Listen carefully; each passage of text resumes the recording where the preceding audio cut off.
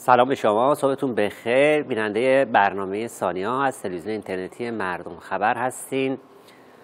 یک مقبره قدیمی در مصر بر روی گردشگران بازگشایی شد. تصویر این رویداد رو ببینید که در شبکه اجتماعی باز نشد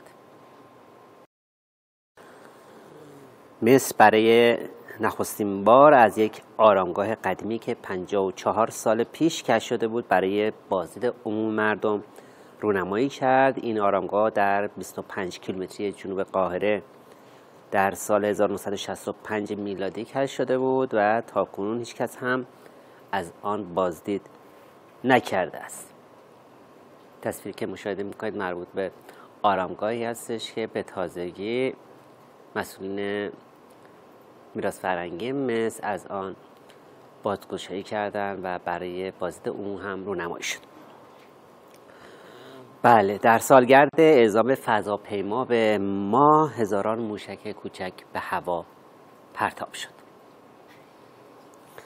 مراسم پرتاب هزاران موشک کوچک مشابه آپولو 11 همزمان با پنجاهمین سالگرد پرتاب این فضاپیما به ما در شهر هانسویل آلاباما در امریکا برگزار شد. هانسویل که به نام شهر موشکی شهرت داره محلیه که در آن موشک ساترن پنج تولید شد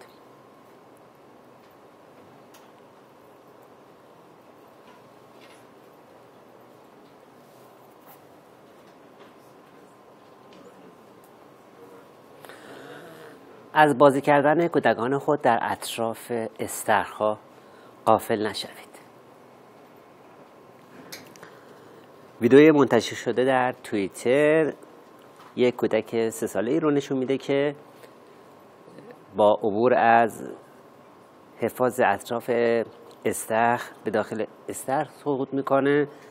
اما پدر کودک بلافاصله متوجه میشه و با شیرجه زدن در آب خوشبختانه موفق میشه او رو نجات بده. تصویر بسیار آموزنده ای هستش برای والدینی که در منازلشون استخ دارن یا کودکان خودشون رو به همراه خودشون به استخ می‌برن و از اونا قافل میشن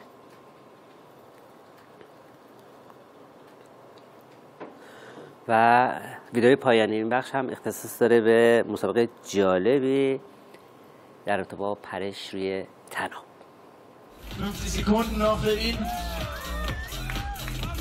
Fearless.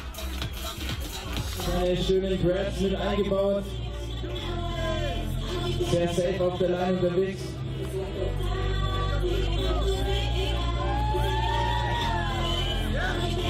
Yeah, Ugi. Die Kombos sind schon gut. Schade, leider nicht die Riemen. Ja.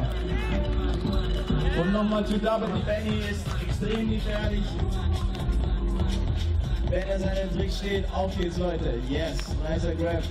Zu leise, Benny Schmidt aus Stuttgart hier auf der Line, come on!